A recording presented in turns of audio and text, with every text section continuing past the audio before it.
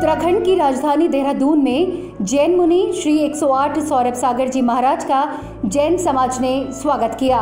वहीं मंगल प्रवेश के बाद देहरादून के 1008 पार्श्वनाथ जैन मंदिर, क्लेमेंटाउन में जैन समाज ने आरती का आयोजन किया।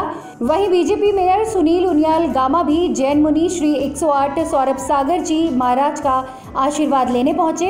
आपको बता दें कि राजधानी में 25वां रजत पुष्प वर्षा योग हेतु महाराज जी का मंगल विहार हुआ है।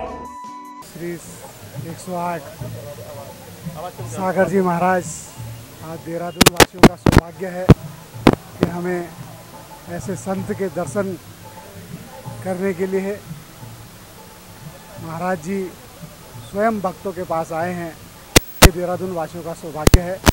हमने उनके चरणों में प्रणाम करते हुए देहरादून से हितेश त्यागी की रिपोर्ट।